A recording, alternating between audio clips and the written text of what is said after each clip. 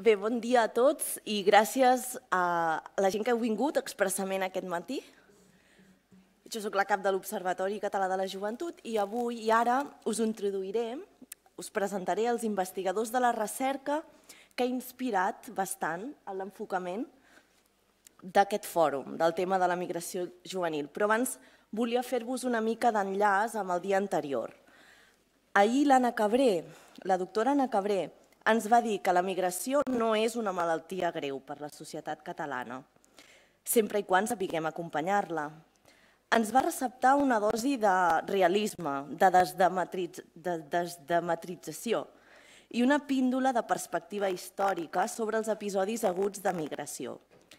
I sobretot ens va prohibir creure'ns les dades que apareixen en els registres estadístics. Ens va recomanar d'acceptar i acollir una realitat que és ja una realitat sense retorn, que són les famílies transnacionals. Fet el diagnòstic, passo a explicar-vos quins objectius tenim avui durant aquesta jornada.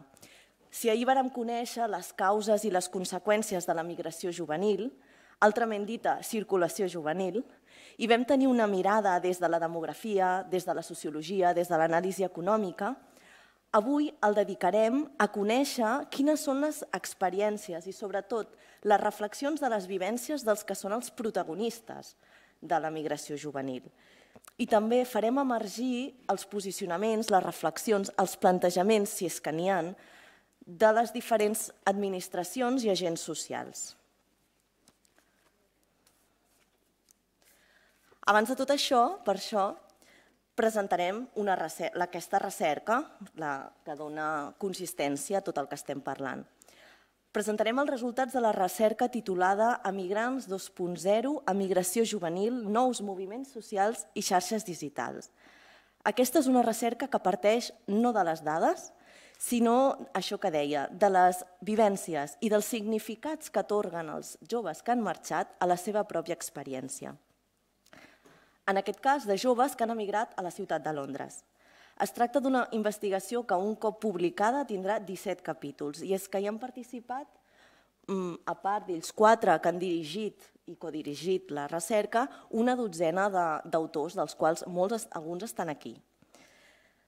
Um, aquesta és una recerca, per tant, amb una mirada des de l'antropologia, una mirada etnogràfica, hi ha demografia aquí darrere, hi ha anàlisi econòmica, però atenció, perquè introdueix, eh, introdueix un equip d'informàtics. Per què?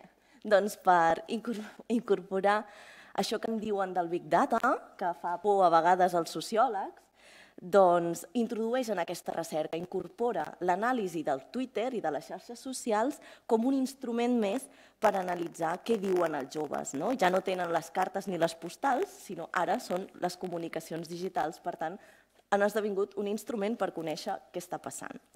Per fer tot això, han conformat un equip multidisciplinari de la Universitat de Lleida. Ara us presento els directors, que, com deia, darrere seu hi ha molts autors. En Daniel Paul, és, uh, gràcies per ser aquí en lloc d'en Joan Ganà, primer de tot. Ell és professor lector del Departament de Geografia Humana de la Universitat de Lleida i és qui ha elaborat la vessant sociodemogràfica de la recerca.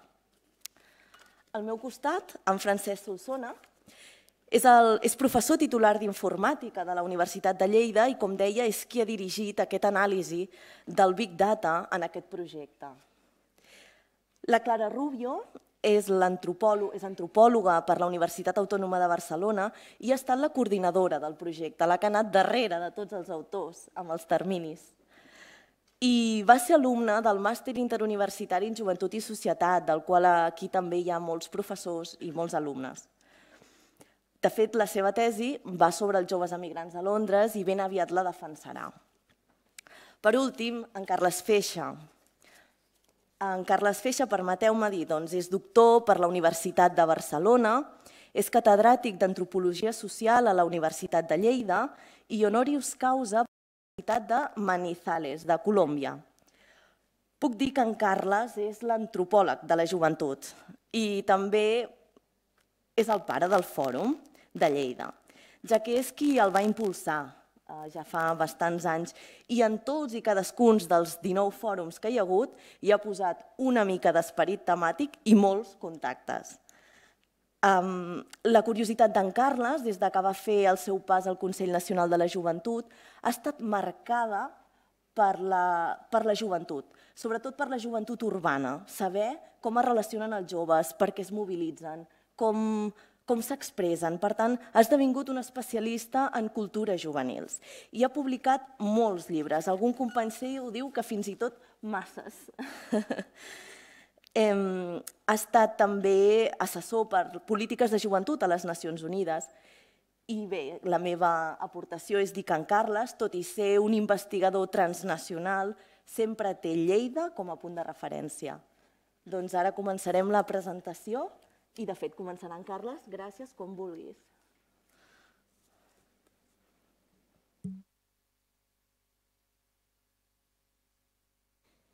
Mm, moltes gràcies, Montse, per la teva eh, presentació tan, tan personal, eh, que em fa, eh, amb, amb un matís, jo no vaig el pare del fòrum, sinó en tot cas la mare, el pare va ser en Joan Ramon Saura i en Manel eh, de, des de, des de la Delegació de Joventut de la Generalitat.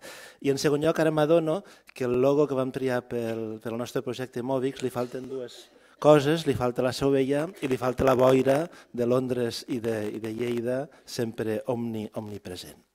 Eh, bé, bon dia a, tot, a totes i a tots. És un plaer coordinar aquest equip de recerca, mm, que aquí som quatre representants, però que en realitat és un equip de recerca molt més ample eh, del qual eh, diguem-ne formen part una trentena gairebé d'investigadors, ni tan sols en aquesta fotografia d'una de les primeres trobades que vam fer fa dos anys i són tots, una trentena d'investigadors, la majoria de la Universitat de Lleida, de tres facultats, cinc departaments i set àrees de coneixement diferents, amb col·laboracions externes amb l'Autònoma de Barcelona i la Universitat de Valladolid, que durant els dos darrers anys ens hem dedicat a investigar aquest fenomen tan complex i alhora tan interessant com és eh, l'emigració juvenil.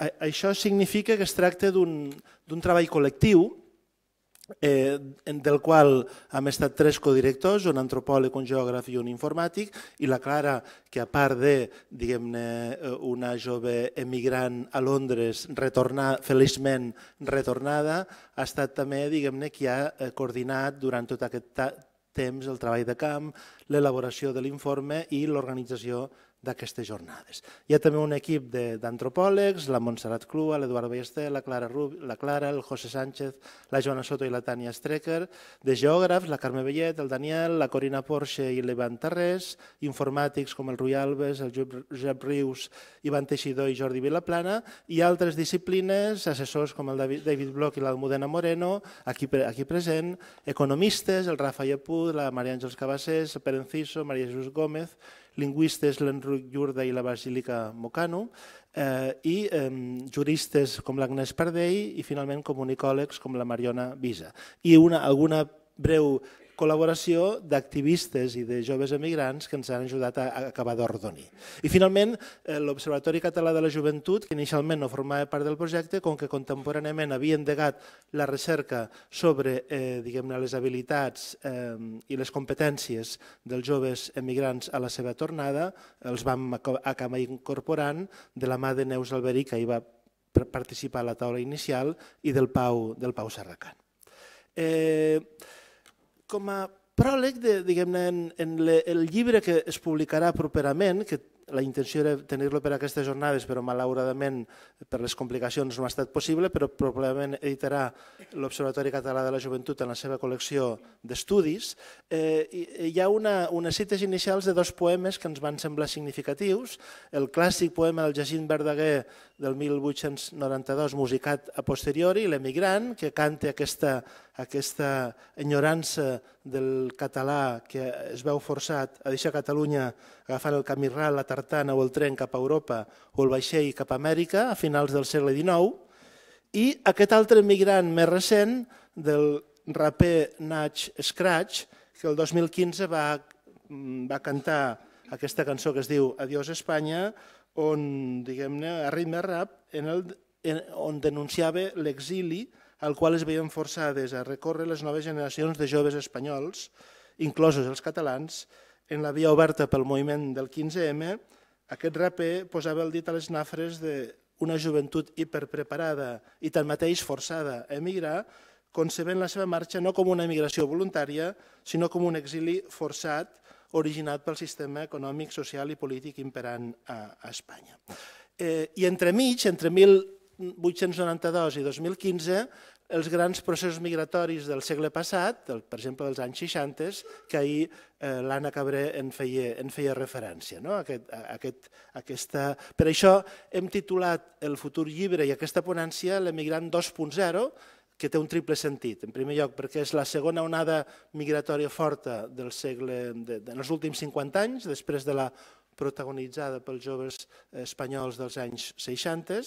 En segon lloc, perquè és diguem-ne eh, l'emigració d'una generació eh, digital, de la primera generació digital, que utilitza les xarxes socials, com després veurem, per un element més en el seu procés migratori, i en tercer lloc, perquè aquestes tecnologies digitals, en, en particular l'anàlisi qualitatiu i quantitatiu dels tuits, ha estat present en la nostra recerca. Eh, en aquest segle, per tant, llarg que, separa aquestes dues cites, la migració ha canviat en forma i fons, però l'enyorança del qui se'n va i els desitjos de tornar eh, es, es mantenen. Eh, L'emigrant de l'època de Verdaguer endegava un viatge llarg i costós que era tota una aventura, es comunicava per cartes que trigaven mesos en arribar a destí, podia no tornar mai més al seu país d'origen, sobre l'evolució del qual només podia informar-se als casals i xarxes socials dels emigrants i exiliats. I s'arriscava a no veure mai més els familiars i amics que s'havien quedat. L'emigrant 2.0 viatja en avions low cost, Pot parlar diàriament amb els seus parents i amics del lloc d'origen per telèfon mòbil, missatgeria instantània, Skype, chat o e-mail i torna sovint al seu país d'origen sobre l'evolució del qual es manté informat constantment a través de les xarxes socials i de Twitter. Bé, diguem en el full de ruta eh, començarem eh, descrivint breument el context d'aquesta migració, els espais geogràfics que el Daniel explicarà eh, que, que s'originen, les xarxes socials que generen i les experiències a través de les quals aquesta emigració s'expressa.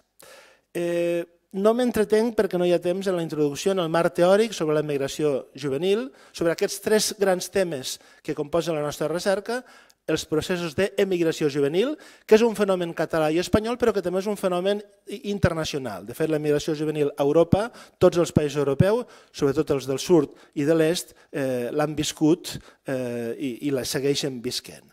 En segon lloc, eh, l'impacte en, els moviments, en els moviments socials, en els moviments socials en xarxa de l'era de la tecnopolítica, on aquests joves emigrants no es queden quiets, sinó que participen activament eh, en el lloc de destí i en el lloc d'origen. I finalment, les xarxes digitals, com aquesta generació eh, que jo anomeno la generació hashtag, utilitza massivament aquestes xarxes per comunicar-se, per fer política, per ser actiu en tota mena de moviments socials.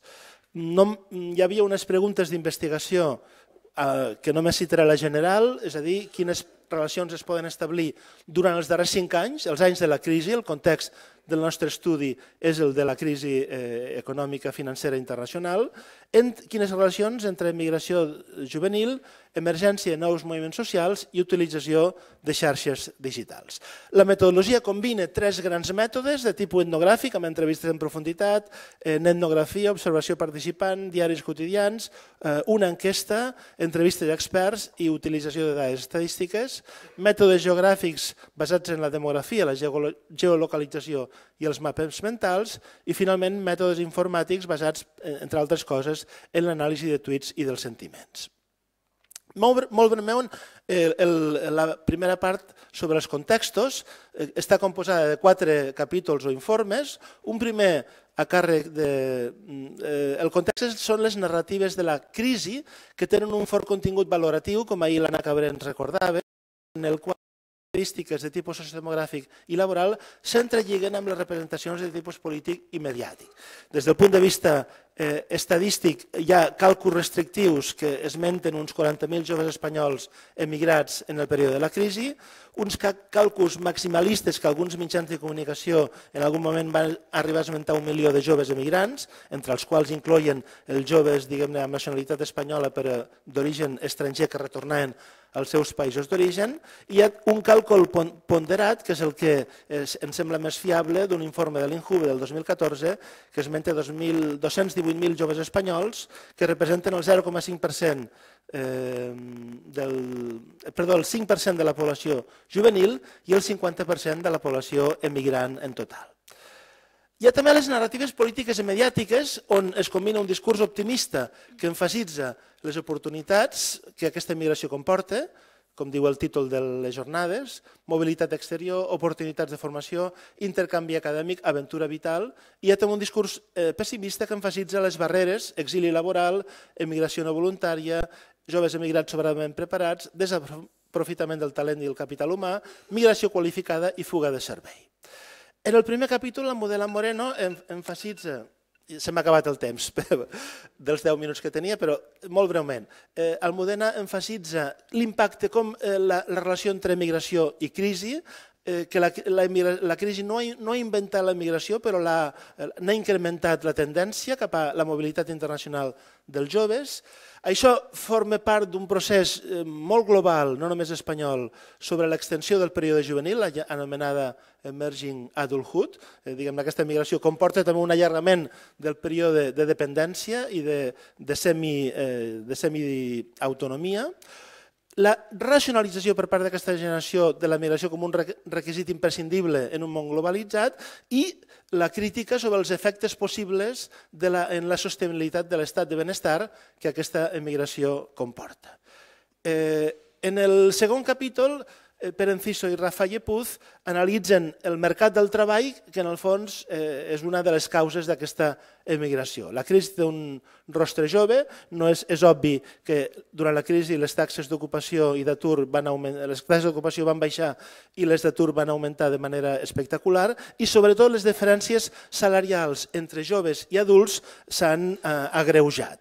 Me, resumint molt, eh, mentre les diferències, els salaris van baixar un 10% en la població general, en el cas del jove van baixar un 37%.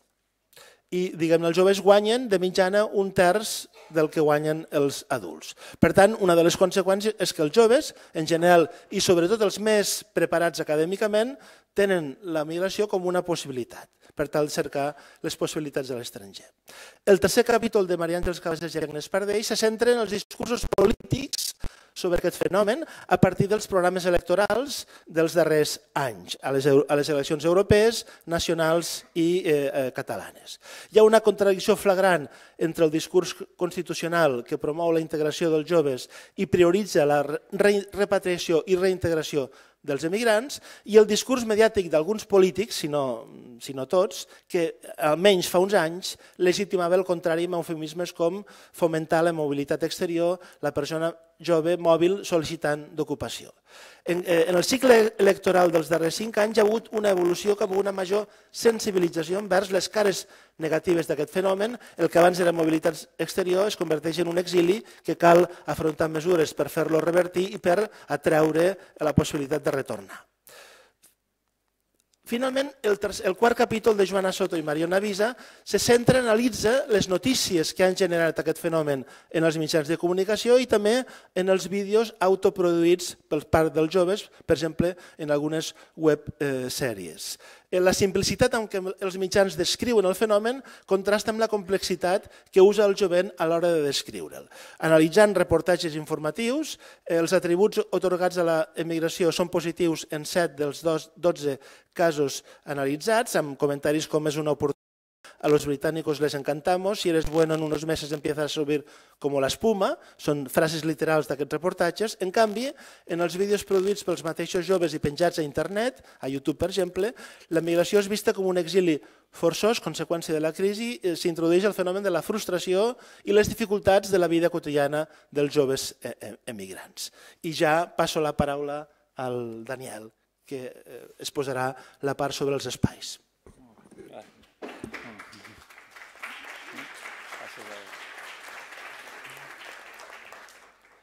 Molt bé, doncs moltes gràcies. Eh, excusar primer el Joan Ganau, que és qui havia de fer la xerrada, que és qui dirigeix aquest grup, i no ha pogut ser avui aquí, i excusar-me a mi mateix, que tinc un acte després, o sigui que tampoc podré estar totes les jornades, però són d'aquestes coses que tot s'ajunta en el mateix dia. Però, bueno. Doncs aquesta part que presentaré jo es dedica als espais, a l'anàlisi de la distribució d'aquests fluxos sobre el territori. Generalment s'acostuma a parlar molt de ha marxat tanta gent, però existeixen molt poques dades de saber exactament on són. Per tant, és en el que ens hem centrat nosaltres. Eh, la presentació, la breu presentació, seguiré els tres articles que formaran part del llibre que comentava abans el Carles, amb tres escales d'anàlisi molt variades que presentarem després. Dir simplement que aquest, eh, aquesta part l'hem fet un grup de vuit persones, que poden veure les pantalles, de tres universitats, majoritàriament de l'Universitat de Lleida, però també hi ha hagut col·laboració de l'Universitat de Kiel i de la Universitat Tècnica de Dortmund, que ens han ajudat amb les, amb les dades dels respectius països. Les idees de partida, per què analitzar aquesta distribució territorial? Doncs perquè mm, no hi ha moltes dades que facin referència a aquest aspecte.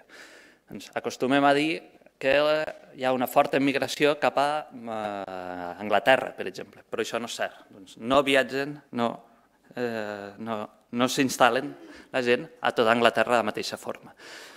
Això, doncs, per veure com es distribuïa la població, espanyola en aquests destins, doncs, ha estat necessari fer tot un treball d'anàlisi estadística, perquè, doncs, com es comentava ahir, o com comentaré més endavant, doncs, la majoria d'estadístiques hi ha una clara subrepresentació dels espanyols, que pot ser de l'ordre d'un 50% o superior. Eh, generalment es diu que un espanyol que marxa d'estranger no es registra fins al cap de 10 anys. Per tant, com que aquesta migració està molt recent, doncs no, no està bàsicament registrada. Per tant, ha calgut veure fonts complementàries, doncs, seguretat social, estadístiques dels països de destins, no només estadístiques espanyoles, i l'objectiu de tot plegat doncs, és una mica eh, millorar el coneixement d'on s'instal·la aquesta població per acompanyar-los, per millorar, per exemple, l'atenció consular o per eh, dirigir polítiques a incentivar el retorn. Deia que s'han fet tres estudis. El primer és a nivell de país, l'han fet el Joan Ganau i la Corina Pors, i han analitzat quina ha estat la mobilitat a nivell europeu, doncs, comparant no només les migracions espanyoles, sinó les migracions, doncs, per exemple, de Romania, de Portugal, d'Itàlia, de l'Unió Europea dels 28 han pogut observar que la crisi econòmica d'una banda, però també el procés de consolidació de la Unió Europea doncs, han ajudat molt a incentivar aquests i l'article quantifica de manera aproximada aquests moviments migratoris. Aquest article ha hagut de fer un esforç molt important per homogenitzar dades i ha obtingut alguns resultats, doncs no els veurem en detall, a convidar la gent que vulgui anar més enllà doncs, a veure l'article. Doncs, per exemple, ha establert diversos comportaments entre països. Doncs, hi ha països, en aquest gràfic el 100 seria la mitjana de l'atur de la Unió Europea els diversos anys. Doncs, hi ha països que durant tot aquest període, 2000, 2014, com Alemanya, Àustria, els Països Baixos o Dinamarca, han estat per sota la mitjana. Alemanya va pujar una mica, però doncs, després va baixar. En canvi, hi ha països doncs, com Portugal, Xipre, Itàlia o Espanya que eh, en alguns casos sortien de sota la mitjana o havien estat just a la mitjana, com el cas d'Espanya l'any 2006, i que han augmentat enormement l'atur. Doncs, això els autors ho interrelacionen amb la, la mobilitat, hm? I ho comparen amb les taxes d'atur dels respectius països, establint aquestes diferències entre països amb taxes altes, alta mobilitat de, de persones i països amb taxes baixes més receptors. A mode d'exemple, doncs, el cas anglès. Aquí, per exemple, el cas anglès, el més fiable són les dades del National Insurance Number, hm? On es pot veure l'important augment de les arribades de poblacions doncs, gregues, italianes, portugueses o espanyoles. Important, això són arribades. No vol dir que tots s'hi hagin quedat. Hi ha dades d'arribades, de flux, però mm, dades d'estoc, per exemple, en el cas anglès és molt difícil d'aconseguir. O el segon exemple, doncs, dades d'entrades de, novament, de grecs, italians, portuguesos i espanyols a Alemanya. Això són dades a nivell de país, doncs, però dins dels països com es distribueix aquesta població. Es distribueix homogèniament, es distribueix en certes ciutats, doncs això és el que hem estudiat, doncs jo mateix, Joan Ganau i Ivan Tarrés, per veure com, com s'instal·len aquesta població als diversos destins. Ens hem centrat en quatre països que són els que tenen més presència espanyola, que són Alemanya, Regne Unit, França i Suïssa. Mm? Hem analitzat diverses estadístiques, això que comentàvem abans, doncs, que eh, no s'han de creure les estadístiques, doncs, mm, cada estadística és un món, hem arribat a intentar homogenitzar.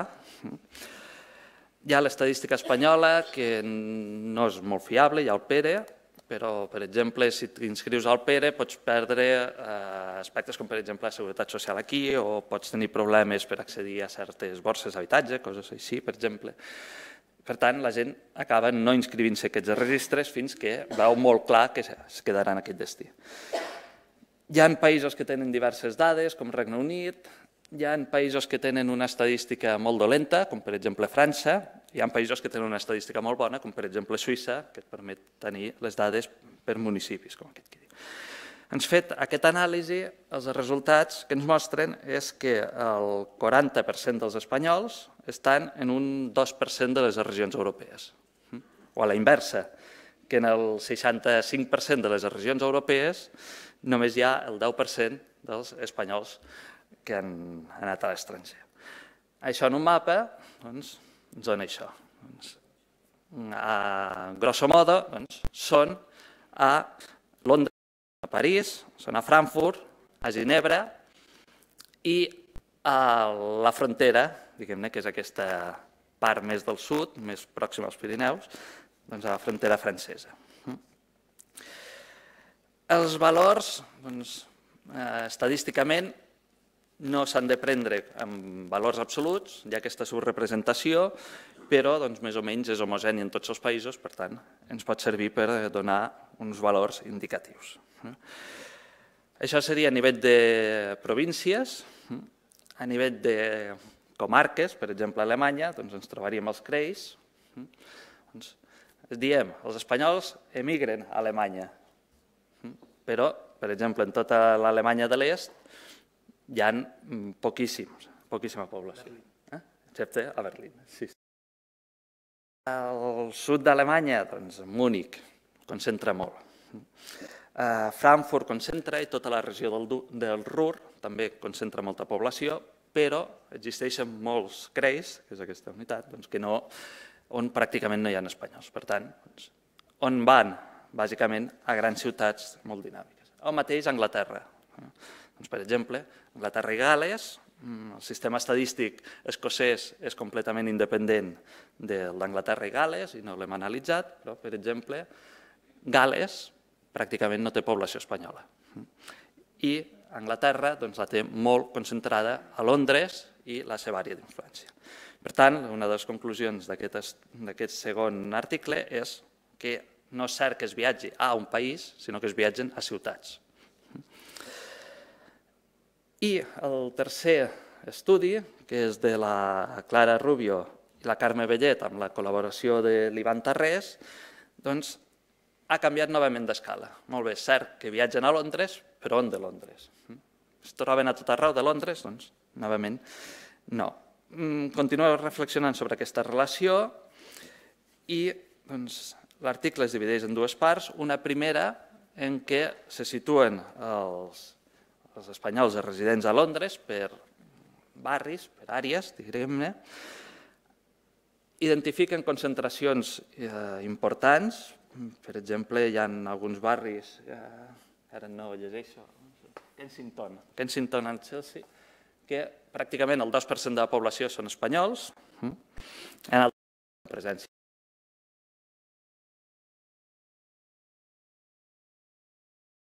Les àrees centrals, hm? curiosament, eh, aquelles més cares, però bueno.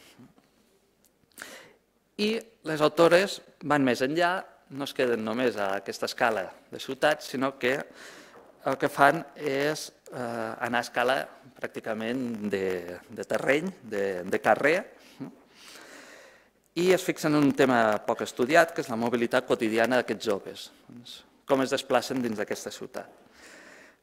Les conclusions més és l'hipermobilitat, ja que degut a les condicions laborals, doncs això que comentava abans el Carles, doncs una cosa és l'ideal, l'altra és que a vegades no poden viure al costat de la feina, això obliga a desplaçaments molt llargs, eh, el preu de Londres també condiciona molt i doncs, les autores han identificat, per exemple, els recorreguts, que seria aquesta línia més negra, que pot ser, sí, que s'identifica clarament, doncs el des, seria un exemple d'aquests desplaçaments de uh, la població d'un espanyol resident a Londres. La percepció generalitzada és que l'experiència de londinenca és una situació transitòria en la vida d'aquests joves, fet que ajuda a entendre doncs, que aquests comportaments mm, siguin sostenibles. Doncs a curt termini, a llarg termini ja la, la cosa ja generaria altres, altres aspectes. Per tant, una mica el resum d'aquest bloc és que més enllà de les xifres, doncs hi ha persones que viuen en uns jocs, que és bo conèixer com es mouen, on resideixen, per tal de poder actuar i poder dirigir unes polítiques doncs, adients cap a aquesta població. Sí? Doncs, això la segona part. Bé, i ara presentaré una mica el que serien les experiències, és a dir, com aquests joves eh, viuen aquest procés de la migració, continuant una mica amb l'article que, que el Daniel ha començat de, sobre les geografies quotidianes.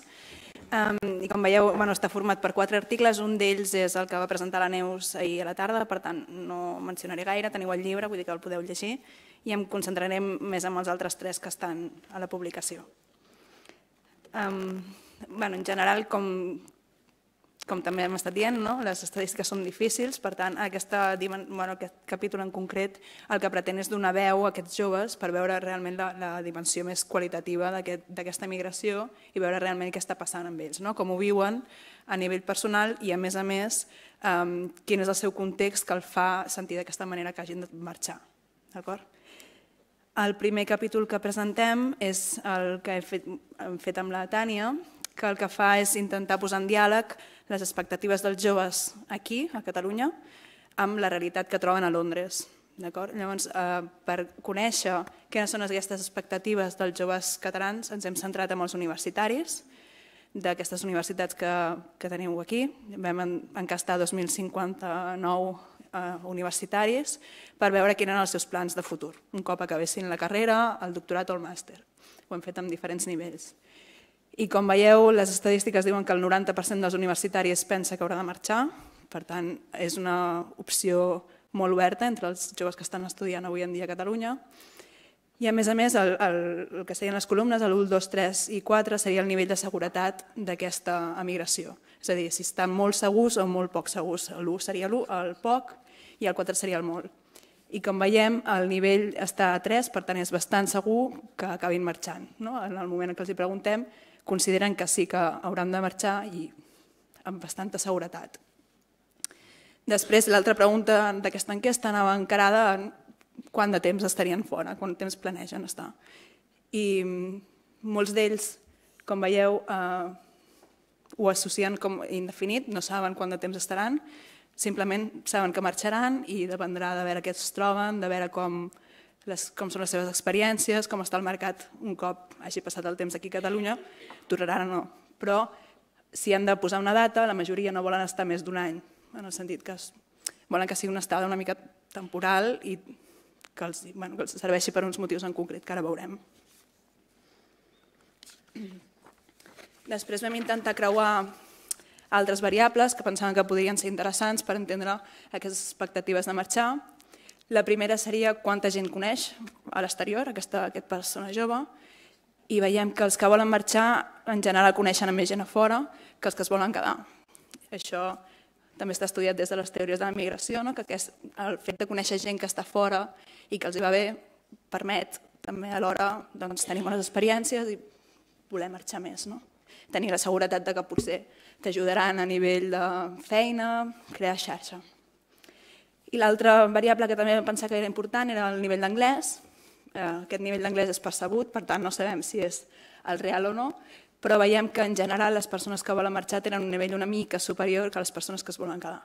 Això ho, ho expliquem perquè clar, és una eina instrumental important que necessiten per defensar-se, per tant consideren que el nivell d'anglès ha de ser suficient com per comunicar-se.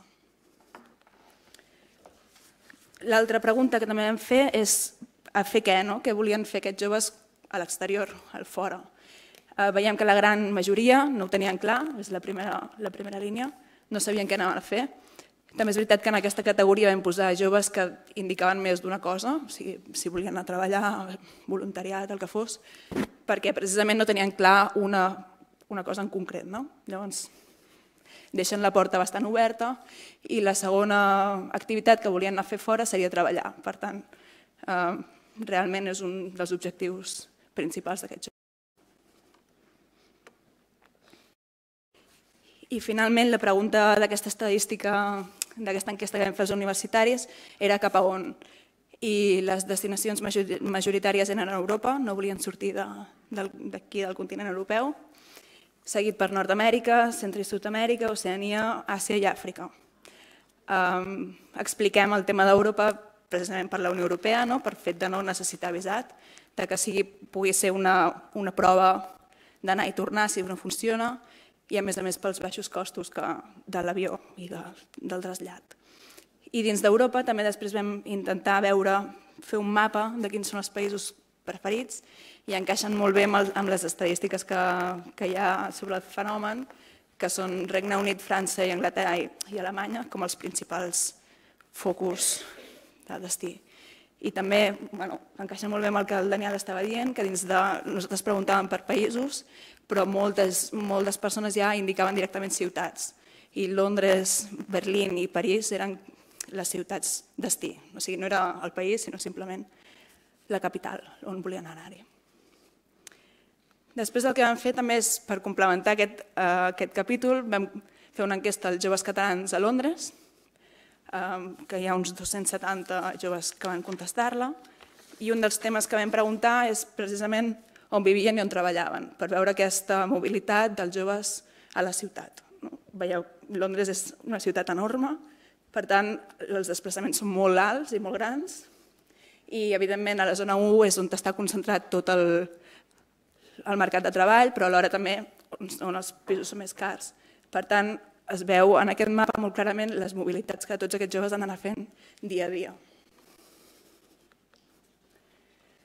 En referència al tipus de feina que aquests joves estan fent, en general eh, estan fent feines qualificades d'acord amb els seus estudis o potser una mica inferiors de, del seu nivell. Per tant, eh, ells considerien que estava d'acord amb el que ells han estudiat. Tot i que després la tercera més eh, marcada seria la feina no qualificada. Això indica molt, està molt relacionat amb, amb el tema de satisfacció. Els vam preguntar com de satisfets estan aquests joves quan, quan, amb Londres, i aquí hi ha un decalatge bastant important amb la satisfacció de la feina i la satisfacció en general. La satisfacció de la feina tendeix a ser inferior a la general. Per tant, eh, aquests joves pot ser que no estiguin tan contents amb el que estan fent allà, però en general la seva, i la seva experiència fora és prou satisfactòria i estan contents d'estar a Londres. Per tant, la seva, el seu objectiu a Londres no, no seria només laboral, sinó que estaria relacionat amb l'experiència i amb tot el que estan aprenent fora de la feina. Aquí hi ha una cita d'aquest noi no, que està dient que bueno, té una titulació també universitària i es passa 8 hores treballant a l'hotel, netejant habitacions, que és molt dur, però ell acabava dient això, no? que no és només això, sinó que quan surt de la feina hi ha molt més i que és el que ell realment valora. I després la darrera pregunta, que és la, la, la que encaixa una mica més amb el fòrum, és fins quan Londres, no? fins quan ens quedarem aquí. I el que es veu és que la data final la posen com bastant propera, entre el 2015 i el 2020, per tant, uh, consideren que és una estada temporal. I a més a més, quan els hi preguntem a on tornarien, seria Catalunya com a principal focus. Per tant, tots ells o la majoria volen tornar aquí, un cop marxen de Londres, però a més a més després ho relacionen amb, amb la segona que posa voldria tornar però no crec que pugui, perquè ho relacionen amb les condicions que el país pugui oferir en aquests joves. O sigui, no és només Catalunya, sinó que Catalunya amb unes condicions. El segon article és el de la Basílica i l'Enric, i el que fan és eh, veure les perspectives de la migració dels joves que han participat en programes de mobilitat universitària, com Erasmus. I el que fan és eh, veure la correlació que hi ha en diferents variables. Eh, la primera estan relacionant eh, voler tornar a marxar fora després d'estar de, d'Erasmus. No? En general diuen que no hi ha diferències entre tornar al país i a Europa, però que sí que hi ha una referència entre voler tornar al país, frent, o sigui, al propi país, veiem que està fet a, a, diferent, a Lleida, aquí, a Lleida, a Finlàndia i a Bucarest, bueno, i a Romania. Llavors, comparen aquests tres països i veuen precisament que sí que hi ha una preferència a tornar al propi país o a la Unió Europea vers cap a altres llocs del món. Aquí ells comparen també una qüestió de classe i una qüestió de gènere i en general el que troben és que no hi ha diferència de classe eh, excepte en la, en la de marxar al món. No? Quan, quan els diuen tornaries a marxar al món, llavors sí que veu una diferència que les classes més baixes tindrien més disponibilitat a tornar a marxar arreu del món que no pas les classes més, més altes. I pel que seria de gènere, tampoc hi ha diferències dins de la Unió Europea al món occident, però sí que les noies prefereixen tornar al seu propi país d'origen envers els nois. Els nois tendeixen a ser-los més igual. Segons la nacionalitat, aquí comparen diferents països d'aquests joves que han participat en programes de mobilitat i el que troben sí, el que troben bàsicament és que pel el propi país els els que són més alts són els xinesos, per tant serien els que voldrien tornar més cap a Xina. Entre els espanyols i els italians són els, els que estan més disposats a marxar fora del país, però sempre dins d'Europa. Per tant, el futur europeu estaria més cap a espanyols i, i italians, aquesta identitat europea. I en canvi contrasta amb els alemanys, que sí que són els que volen tornar més al seu propi país. I després, en el que seria el cap a Occident, trobem també una altra vegada països mediterranis i Holanda, com a més disposats a marxar a altres països occidentals, i el futur del món també una altra vegada. Els països eh, mediterranis i Holanda estarien més disposats a tornar a marxar arreu del món. I el tercer capítol que, que us explicaré una mica així per sobre avui és el que fem amb la, amb la Montserrat Clua i el José i aquest capítol el que té per intenció és veure com es consideren aquests joves, o sigui, com s'identifiquen ells mateixos. Uh, si són immigrants, emigrants, mòbils, tots aquests termes que estem discutint aquests dies, com ells mateixos s'hi consideren. No? I per fer-ho uh, agafem l'imaginari col·lectiu a nivell català que està des de la, de la immigració, a partir d'aquestes dues onades migratòries que Catalunya ha rebut, a partir dels espanyols i dels extracomunitaris, no? aquesta imatge a nivell social que tenim com a immigrant, com a persona pobra, com a persona que no té més recursos, no?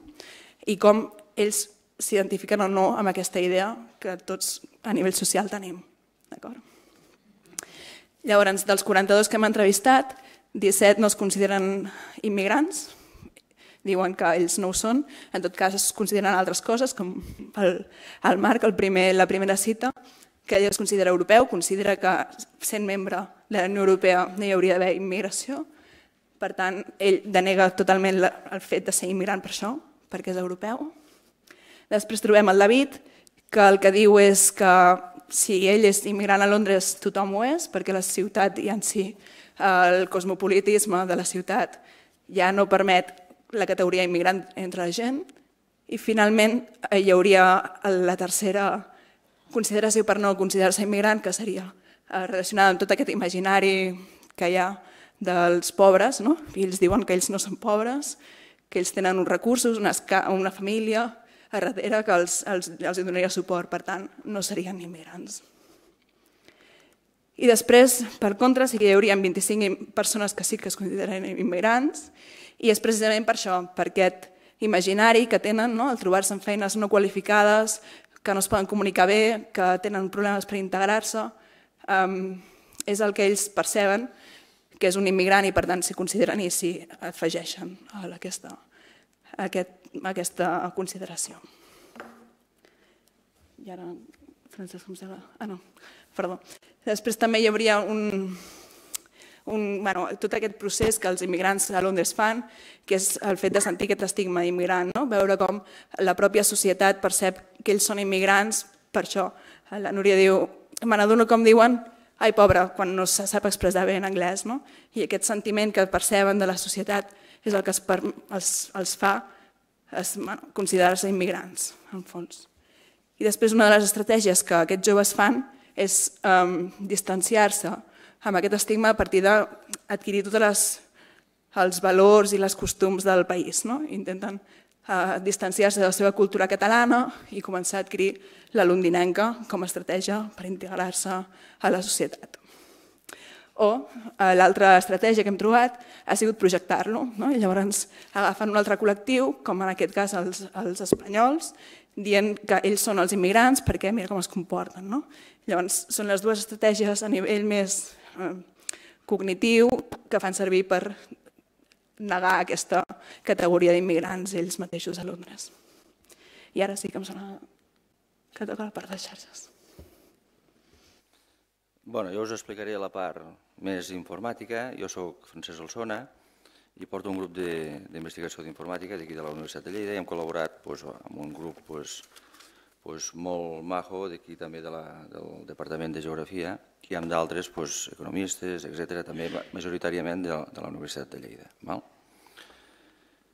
Bueno, eh, us explicaré mm, la part informàtica dins de, bueno, bàsicament dos articles o dos eh, capítols dels llibres, del llibre, perdó, un és estudiar la migració i la digitalització, val? dins de lo que és eh, l'entorn de les xarxes socials. Bueno, L'objectiu bàsicament era estudiar moviments de joves catalans que marxen de Catalunya, amb especial atenció a Londres. A més a més, estudiar moviments socials dels joves i estudiar aficions, connexions, associacions dels joves mitjançant les xarxes socials. Val? Bueno, el primer que un se pot preguntar és, entre totes les xarxes socials que, que hi ha, que cada vegada pues, apareixen com a bolets, quina mos triem, no? quina, triem entre totes? Llavors, pues, bueno, la que es va triar és, és Twitter. I per què? Direu, per què es va triar Twitter? Se va triar perquè és una xarxa eh, social pública. Això vol dir que tot el que hi fiqueu allí és d'ús públic, és a dir, se pot agafar. Eh? I es pot agafar pues, informàticament i es pot ficar pues, fins i tot i es pot estudiar, eh? es pot emmagatzemar i es pot estudiar. I LinkedIn i les altres xarxes, no, Facebook, Facebook doncs no. Eh? Necessitem eh, doncs l'autorització explícita val, doncs dels que estan ficats en aquestes xarxes. Per tant, no és d'ús públic. d'acord? I per això la xarxa social amb excel·lència que s'estudia és Twitter, senzillament per això. Eh? Bueno, els tuits què són? Els tuits són, doncs, bueno, són missatges limitats de 140 caràcters que hi ha doncs, altres dades, no? doncs 316 milions d'usuaris actius al mes, que hi ha 6.000 tuits per segon. Eh, els tuits, quan eh, envieu un tuit, val, hi ha molta informació darrere, i per això és, és molt interessant el seu estudi dels tuits, a part. Entre altres coses, una de les coses que hi ha interessants, a part del missatge en si, d'acord, és que estan geolocalitzats, és a dir, se pot saber des d'on s'ha emès. Eh? I a més amb una precisió bastant elevada. Eh? Això és una de les particularitats. I després també que s'hi fique al tuit, al mateix tuit, quin idioma s'ha emès. Val? Però evidentment no estan en, en tots els idiomes. I clar, doncs, català doncs, és un idioma minoritari i no el detecta i no està ficat. Val? Per això està ficat aquí tatxat. Català doncs, perquè no, eh? no, no se sap en quin idioma s'ha emès. Bueno, la, aquí tenim un exemple de geolocalització i aquí doncs, les aplicacions que vosaltres en pugueu fer. Val? Molts de vosaltres doncs, esteu fent tota classe de, eh, de mapes i estudis. Doncs, amb els tuits podeu fer tota classe d'estudis. De, doncs, on és el lloc on s'ha emès aquest tuit? No? Doncs, seguiment, per exemple, seguiment dels tuits, per exemple, a turisme, no? doncs, per la ciutat de Barcelona, eh? per exemple, el, el Daniel, val? que és un, és un dels estudis que volem començar. Val? Una altra cosa, no sé si es veu gaire bé, aquest mapa d'Espanya és amb l'idioma, amb l'idioma que s'han emès els tuits. Val? Clar, és evident doncs, que els tuits majoritàriament en català s'han emès des d'aquí de Catalunya. Val? En roig doncs, de... i en verd doncs, els, els espanyols. Val? També és un altre estudi doncs, força interessant que es pot fer sobre això. Eh? Clar, això també eh, atén a, a, a migracions, no? mobilitat, etc. Eh? Depenent d'on s'ha emès aquest tuit i, eh? etc. I el seguiment que, que es pot fer, que també es pot fer un seguiment de forma històrica. D'acord? Bueno, nosaltres, a vegades fa por, no? Pues nosaltres som els informàtics i nosaltres treballem pues, amb servidors i, no? I en programes i, això és el que fem. Però sempre ho hem d'aplicar. El que ens interessa a vegades nosaltres és aplicar alguna cosa en concret. D'acord? Pues aquí dins d'aquest projecte s'ha tingut que comprar un ordenador, llavors pues, sobre el qual s'hi ficava, ficava tota la informació que s'està emetent val? Pues, per Twitter i que nosaltres l'estàvem recollint. I on la ficàvem? Pues la ficàvem amb aquest ordenador. I aquesta era una part pues, força important de la nostra, de la nostra feina. Llavors, eh, això és el que pot arribar a emmagatzemar 5 terabytes, no us diré el que és, perquè és igual. Val? I després hi, hi havia finestres. Finestres vol dir que se pot fer com a unes finestretes que són unes visions de tot el que s'està emetent per Twitter, que ja us he dit abans, que no vol tanto, perquè és públic i allí es queda eh? i sempre es pot estudiar. I la prova de que heu d'anar al tanto a l'hora d'escriure un tuit és perquè veu aquests tuits se poden emmagatzemar i nosaltres els tenim emmagatzemats. I això per quan? Pues per sempre, eh? fins que nosaltres no diguem pues, els, els esborrem o el que sigui, d'acord? Llavors, una finestra, una finestra és senzillament una zona que nosaltres volem estudiar. Doncs, per exemple, Catalunya. Del mapa que hi havia abans doncs podem estudiar Catalunya o Espanya o podem estudiar Europa o doncs, el món mundial. D'acord? També. Eh? També podríem fer una finestra de tots els tuits que s'emeten, però només un 1%. Un 1% de cadascuna d'aquestes finestres. Bueno, tècniques que s'utilitzen, doncs Big Data, ens fa por, no? Doncs a vegades Big Data, però senzillament emmagatzemament de molta informació. D'acord? Això és el que es fa. Llavors, doncs, els programes actuen sobre molta informació, sobre bases de dades amb molta informació. Llavors, coses que es pot fer, doncs, comptar tuits, detecció dels tuits en català, perquè els tuits en català, clar, això no està fet, i això és una de les parts que nosaltres estem interessats en continuar, val? dins d'aquest projecte que s'ha engegat i que és molt interessant i que podem continuar doncs, treballant-hi. Se pot fer una anàlisi de grafs, com ja veureu després, també us ficaré aquí un graf, ja ho veureu, i cerques complexes amb, aquestes, no? amb aquest ordenador que us he ficat abans, doncs cerques eh, una mica complexes i ficant de filtres de què és el que vulguem, atenent al que vulguem buscar, d'acord? Però bueno, això és, per nosaltres pues, és, és el pa de cada dia, no? és el que solem fer. Bueno, eh, fons de dades que hem utilitzat amb, amb aquest article és eh, Marea Granate de Londres, després també hem fet una enquesta de grups per edats, més o menys uns 50 usuaris de Twitter, i després també hem recollit tots els eh, eh, de tuits amb aquest ordenador, doncs n'hi tenim 1.500 milions. Val? I això equival, doncs, ja, quan pesa i quan no, doncs 4,5 terabytes, el que us he dit abans, doncs és igual, no patigueu, però més o menys, no, 1.500 milions sí que eh, podem tindre amb tota la informació que ja us he dit abans, de l'idioma, no, de la geolocalització, etc etc. Per això pesa tant, per això costa tant de magatzemar, d'acord? Perquè si no, 140 caràcters per missatge sembla com si fos poquet. Val? Bueno, de l'enquesta Maria Granat que s'han fet sobre l'estudi que es volia fer, doncs, bueno, més o menys doncs, ja vam veure que no quadre, no?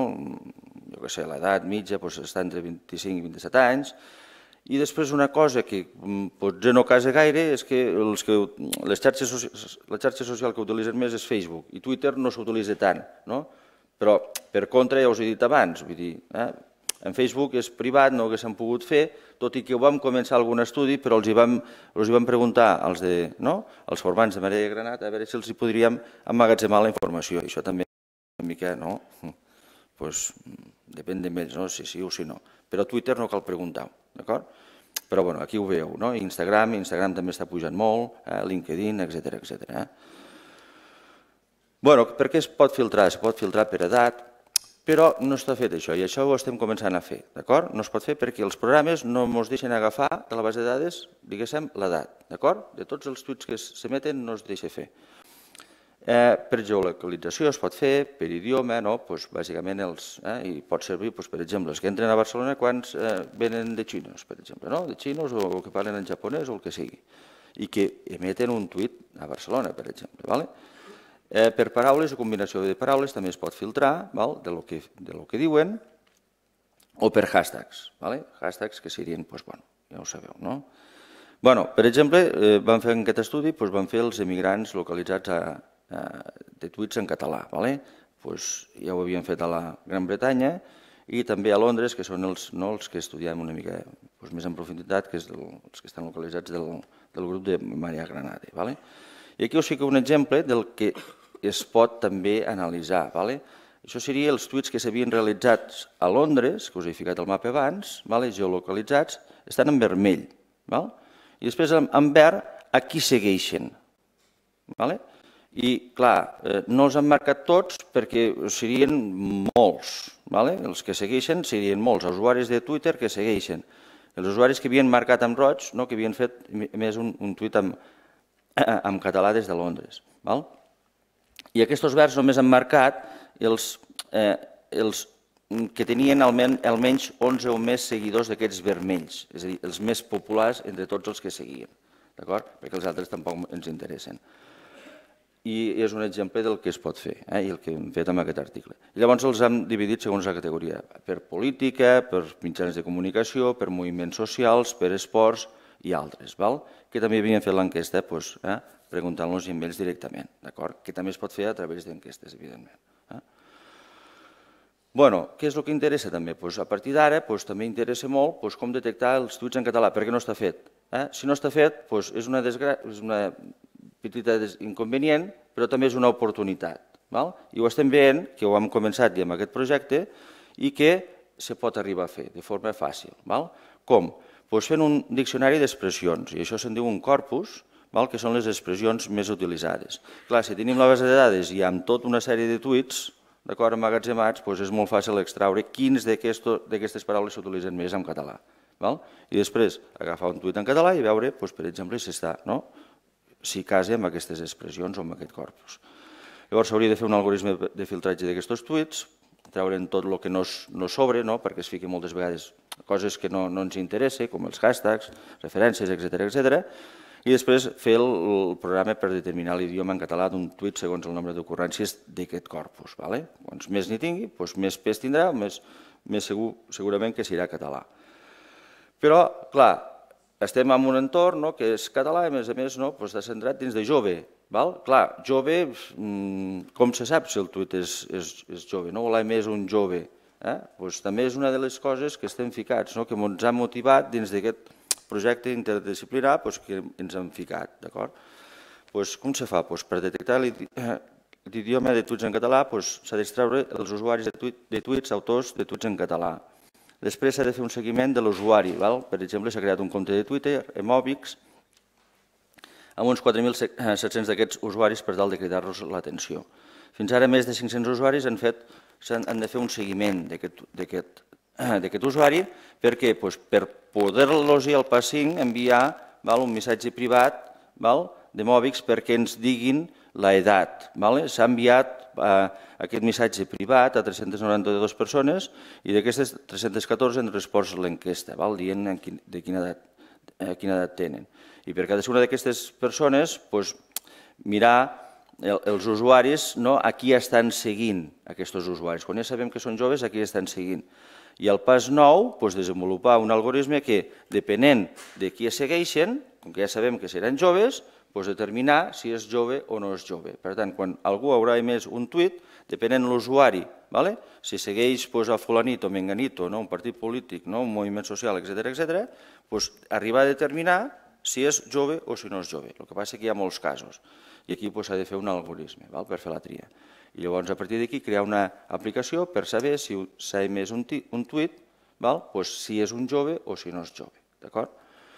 I llavors això el que ens permetrà és estudiar doncs, la mobilitat, eh? la mobilitat dels, dels joves des de Catalunya cap a fora. Val? Per què? Perquè necessitem saber si el tuit ha estat escrit en català i, a més a més, si ha estat jove, que és, són els dos paràmetres o les dues coses que estem, eh? que estem ficats. A fer. Bueno, com que hem estudiat també el moviment de, eh, de Marea Granat, doncs, també hi ha hagut un, dins d'aquesta part de xarxes doncs, un, Ah, pues un altre article realitzat per Eduard Ballester i Clara Rubio, també d'aquí de la Universitat de Lleida, on s'ha estudiat un moviment social que és Marea Granat. L'estudi es basa en informació obtinguda mitjançant l'aplicació de tècniques etnogràfiques. Vale? Bueno, bàsicament es pot dir que igual que aquí doncs passa el del 15M a les marees, a les marees en defensa dels, dels serveis públics. I bueno, la, la majoria d'accions de, la, de la marea estan lligades a qüestions espanyoles i catalanes. Vale? Bueno, dic que també els grups polítics d'aquí es reprodueixen allí, però de forma desigual, i que hi ha una línia doncs, bastant fina entre els moviments socials i polítics val? que, que s'estan desenvolupant de les marees. I com a conclusions doncs, dir que eh, bueno, es tracta d'un moviment no propi d'aquí, doncs, exiliat doncs, a fora. I no sé si voldries afegir alguna cosa més, ja que tinc aquí present. No, està bé, és això. Vale? Doncs amb això acabo. I... Sí.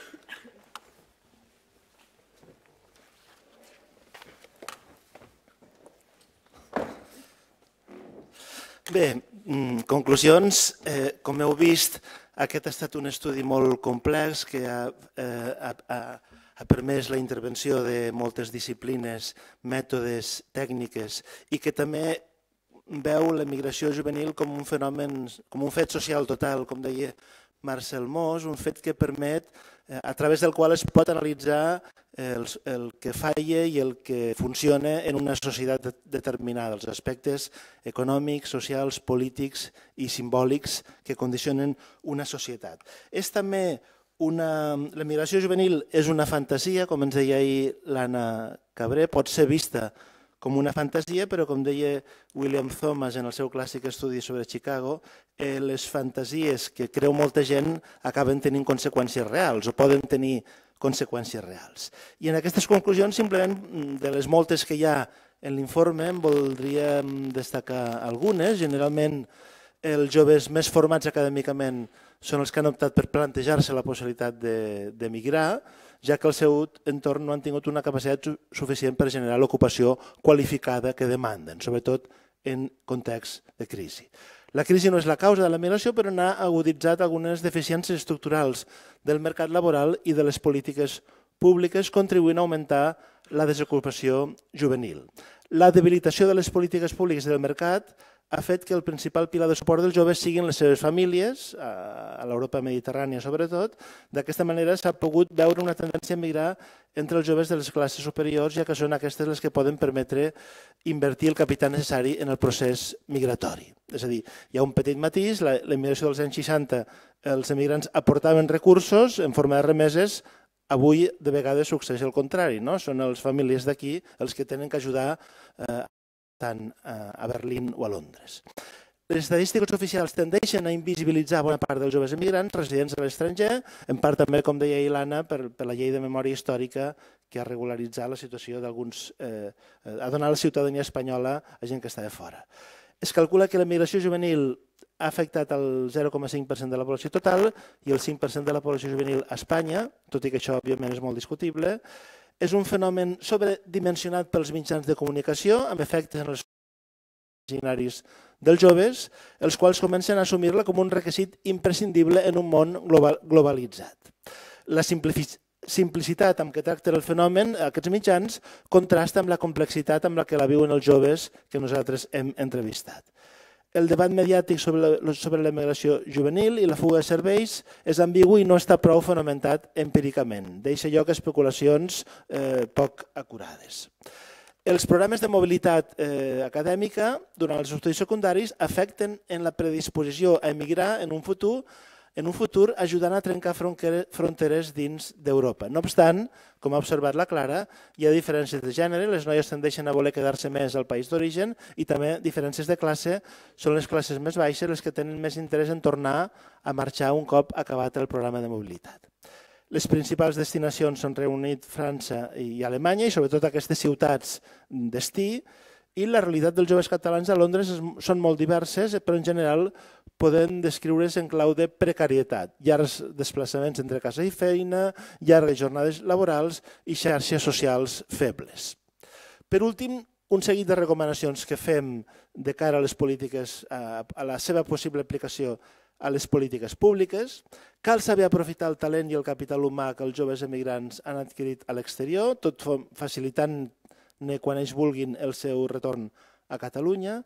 Cal compensar el fet que les polítiques públiques estan dissenyades per les èlits polítics per a una població juvenil cada cop menys representada en el cens poblacional i electoral, és a dir, els joves, els d'aquí, els emigrants, a vegades no tenen prou pes polític i decideixen, com hem vist en les darreres eleccions a, a Gran Bretanya, amb el famós Brexit, a, a Colòmbia amb el referèndum i a Estats Units recentment, el, els joves voten una cosa, però el, la gent gran en vota unes, un, unes altres que són, en definitiva, les que decideixen. Cal establir un sistema d'informació i assessorament juvenil abans de marxar i un cop els joves han tornat en ciutats com Barcelona, a que el servei ja existeix i s'està impulsant. És important establir polítiques públiques entorn al procés eh, migratori.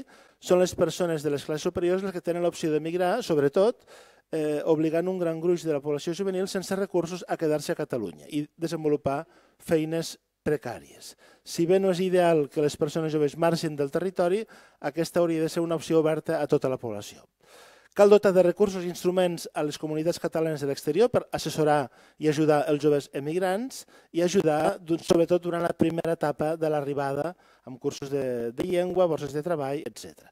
De la mateixa manera és important millorar els mecanismes de comunicació entre la comunitat emigrada i les institucions governamentals a l'estranger, consulat, ambaixada i delegacions del govern català, perquè coneguin la realitat dels joves emigrants i desenvolupin polítiques i projectes d'acord amb les seves necessitats. Cal que el sistema de garantia juvenil, que és, com sabeu, un programa europeu dels més importants, contempli la volatilitat laboral dels joves i s'adapti a aquesta realitat juvenil per tal de donar resposta a les seves necessitats laborals reals i no a les imaginàries. Hi ha també la necessitat de mirar de dissenyar i implementar un pla de retorn per a les persones joves que han emigrat per motius laborals, facilitant el seu procés de reintegració a la societat catalana.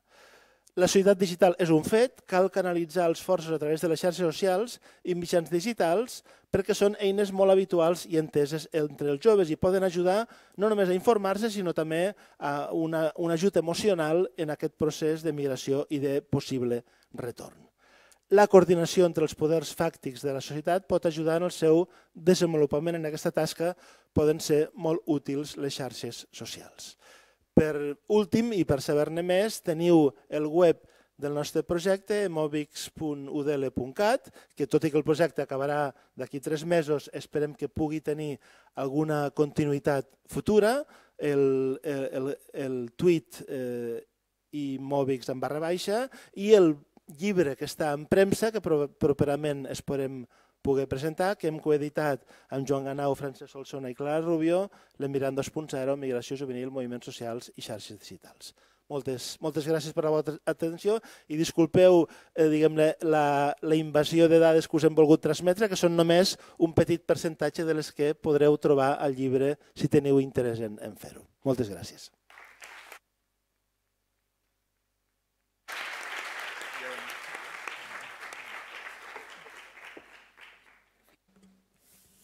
Gràcies, Carles, i a tot... I a... Adéu.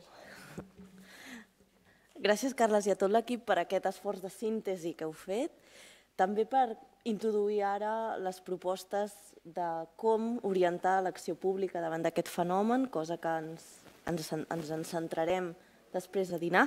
I ara obriríem un torn de paraules, que pot ser ben bé de 10 minuts, i, i teniu, no sé si algú ha utilitzat les, les targetes o a, a través de les xarxes socials us heu animat a fer preguntes? No.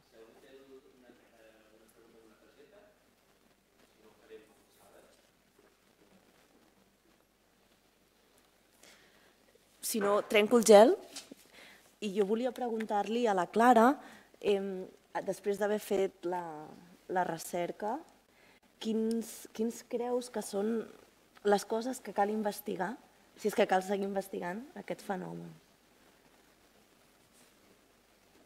És, bastant, és una pregunta, és molt fàcil. Um, jo crec que realment el que és important de tot això és com ho viuen, com viuen els joves tot aquest procés. No? Vull dir, en el fons, els joves um, perceben aquesta migració com una necessitat o no, és una cosa que se'ls ha de preguntar i veure, però sobretot veure eh, quines són les seves subjectivitats del procés, no? o sigui, si realment ho conceben com una obligació o no i, i com podem treballar a nivell de per, per minimitzar això, no? o sigui, que, que sigui realment el que estàvem dient amb el Carles, no? una opció oberta per tothom perquè la que realment ho vulgui fer ho, ho pugui fer i que no sigui, que no sigui vist com, com un exili, com forçat, no? que realment sigui una oportunitat que aquests joves puguin tenir. Per tant, jo crec que seria molt interessant, per entendre ben bé què passa, doncs, centrar-nos més en, en aquesta subjectivitat dels, dels joves, sobretot perquè, com estem veient, no? les estadístiques no, no, es, no són representatives i, per tant, crec que és important treballar amb aquests joves i veure realment la seva perspectiva. Tenim una pregunta de... Sí, jo sóc la Núria. Um, la, més que preguntes que vull plantejar, que la sensació, poder, és de que tractem el jove amb cotó fluix i que hem de crear moltes eines per si se'n va i per si torna, però no sé si és el millor pel jove, al final, perquè aquest acabi sent tot això potencial que li d'haver un cop de fer una experiència així. Us poso sobre la taula i digueu el que, el que creieu. Gràcies. Sí, tens, tens tota la raó. Això és un defecte de les polítiques públiques i del sistema familista eh, català i espanyol des de fa des de fa força temps, no només cara als joves emigrants, sinó a qualsevol, a qualsevol jove, diguem-ne com si, com si obrir-se pas a la vida, aquesta llista d'espera, aquesta cua, eh, fos una condemna irreversible i l'única aportació és, diguem-ne, sobre, sobreprotegir-lo per tal de que, diguem-ne, retraci eh, aquesta adolescència eterna que estem, que estem visquent. El que passa que en el cas dels joves emigrants aquest cotofluix d'alguna manera es trenca, no? No, no queda cap més remei, encara que hi hagi una ajuda familiar, un suport emocional i també material, econòmic, mm, quan estan a Londres o a Berlín, d'alguna manera s'han de, de, us heu d'espavilar eh, d'alguna manera i això potser és la gran oportunitat. Diguem-ne, tot, estem, en, en tot l'estudi, en tot el debat, estem veient, la, depèn de com se miri, la migració pot ser una cosa, hi ha un discurs negatiu, una percepció negativa, un fracàs per al país, diguem-ne, una, una pèrdua en capital humà, un patiment pels que han obligat, estan obligats a deixar a emigrar, com deia Jacint Verdaguer, però també es pot veure com una oportunitat, com una oportunitat no només per als propis protagonistes d'aquesta migració, sinó també per a la pròpia concepte de joventut, d'aquest trencar aquest cotofluix que hem anat creant des dels últims 20-30 anys, abans de la crisi, aquest, aquesta educació diguem-ne sobreprotegida dels joves catalans, espanyols i en general mediterrànies, per tal d'idear eh, un altre model de joventut que suposi un major risc, un major, una major recerca eh, individual i col·lectiva de, del, del futur que, per, per desgràcia, aquí no, han, no els hi han donat en aquests darrers anys.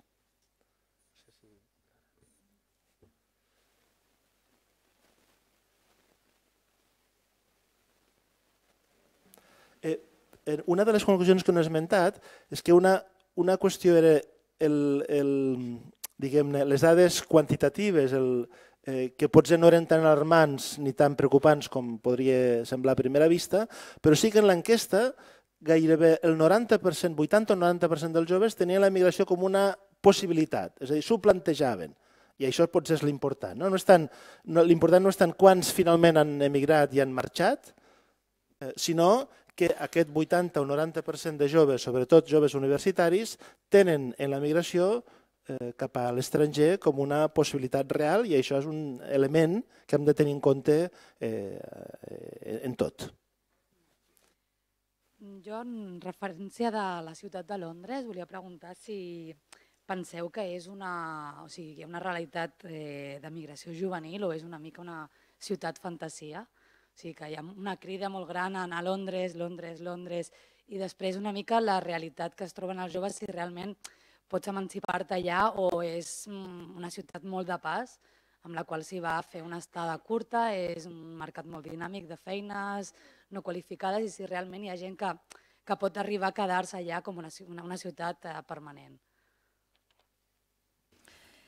Bé, jo crec que pel que hem estat veient en l'estudi, la idea de Londres com a ciutat d'oportunitats és com molt generalitzada. No? Hi ha diferents elements, de fet vaig estar parlant amb el Carles un, un dels dies que vam anar a l'assessoria, no? que l'anglès és percebut com una gran competència que s'ha de tenir entre els joves. No? Llavors, quan es plantegen on marxar, eh, eh, bueno, el que seria Estats Units, Canadà, Austràlia són com els preferits, no? però llavors per temes de visats i coses burocràtiques que són més difícils eh, acaben restringint Europa per la facilitat de viatjar i llavors entre els països que pots aprendre anglès eh, a Europa Malta, Anglaterra, Anglaterra o Irlanda, Londres, bueno, Anglaterra té com més eh, la percepció, hi ha un imaginari de poder aconseguir feina fàcil, no? ja sigui eh, començant per no, per no qualificar, hi ha la idea, no? quan jo feia entrevistes amb joves que acaben d'arribar em deien bueno, d'aquí una setmana segur que estic treballant a algun lloc, encara que sigui netejant habitacions. Per tant, hi ha la idea que la feina és molt fàcil d'aconseguir i a més a més que pots aconseguir, pots començar de baix i aconseguir la feina que tu vols. No? Llavors aquesta idea és molt, és molt potent entre els joves de possibilitat laboral, encara que sigui precària, de poder aconseguir després el que, el que es vol. No? Lligada amb aquest anglès que poden aconseguir, doncs és com molt atractiva en aquest sentit. I després també una de les idees que hem presentat abans del cosmopolitisme, no? de que no sentir-te immigrant o de tenir tota l'oportunitat de conèixer cultures del món, no? que és com un mini univers per si, doncs és també molt atractiva entre els joves. Jo crec que són les tres variables que influencien més. I llavors, sobre el tema de si és precari o no, m'has preguntat, oi? Després ho veurem amb la taula, que venen tres joves que venen a Londres i ho preguntarem, però bueno, hi ha experiències de tot, hi ha experiències més positives i més negatives. Jo volia, volia afegir que seria fora interessant eh, comparar els imaginaris de les ciutats promesa, de promissió. Ahir l'Anna ens parlava de París al 68, després ha estat Londres, potser segurament ara Berlín comença a despuntar a partir fora d'Europa segurament ja arribarà un moment. De fet, tot i que Amèrica Llatina no surt com una destinació de preferència, en realitat ja, ja està havent-hi molta migració juvenil, sobretot de, de, de form, eh, diguem-ne, universitaris i doctors cap a països com Equador, Argentina i Xile, que els estan rebent perquè ja tenen més possibilitats de carrera professional que no pas, que no pas aquí. No? Però és interessant comparar aquesta, eh, aquestes imatges simbòliques, quines són les ciutats que atreuen i com això va canviant al llarg de, de la història.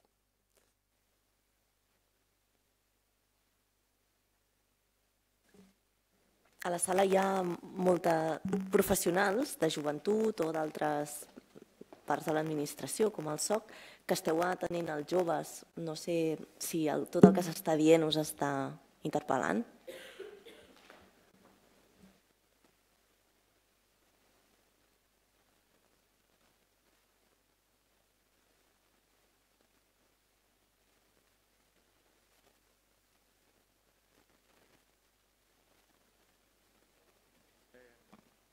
Hola, sentiu? Sí. Bueno, jo sóc el Carles, eh, sóc de l'assessoria de mobilitat de l'Ajuntament de Barcelona i us volia fer una pregunta de l'estudi i és que aquest flux de migració és veritat que té una, un tret molt distintiu respecte als altres que hi ha hagut i és el fet de l'intercanvi. No? Ens n'adonem que a Barcelona, per exemple, tenim molts joves que venen d'Itàlia, per exemple, tots ens n'hem adonat. També bueno, molts professionals i altres joves que venen més a buscar-se la vida i llavors, doncs, si heu trobat interessant també comparar aquests altres fluxes amb, bueno, a part dels que marxen, els que tornen, potser també ens aporten una part de coneixement. No sé si això ho heu tingut en compte o, o com ho heu no sé, visualitzat. Eh, només En el capítol sobre la mobilitat dels Erasmus sí que es té una mica en compte, com efectivament eh, Barcelona en particular i Catalunya són un dels llocs preferits per, com a possibles destinacions. Eh, eh, efectivament, no, aquest procés migratori no és unidireccional, sinó que és multidireccional. El nostre estudi no, no l'han pogut tenir en compte, però segurament aquesta circularitat dels processos de mobilitat juvenil europea és un dels camps d'estudi que estan en creixement, no? que està en creixement perquè eh, diguem-ne és una mobilitat que pot tenir un origen lúdic o turístic, pot tenir una component, diguem-ne, després acadèmic pel que fa a la formació eh, a nivell secundari i universitari, però eh, pot ser tenir una dimensió laboral, però té múltiples direccions. I com això afecta a les societats d'origen i a les societats de destí és quelcom que està per estudiar. Barcelona, òbviament, des de que es va fer una casa de locos, la famosa pel·lícula sobre els Erasmus, va convertir gairebé en la preferència número 1 a nivell internacional. No? També l'impacte del cinema i dels mitjans de comunicació aquí, aquí és important. No? I, i, I també comparat amb el que ahir ens comentava eh, dels joves del nord d'Àfrica, que en el fons aquella comparació doncs, eh, servia molt per entendre el que està passant. No? No, no és pas tan diferent aquestes expectatives dels joves universitaris del Líban o de Marroc o de Tunísia amb els joves catalans eh, d'avui. No?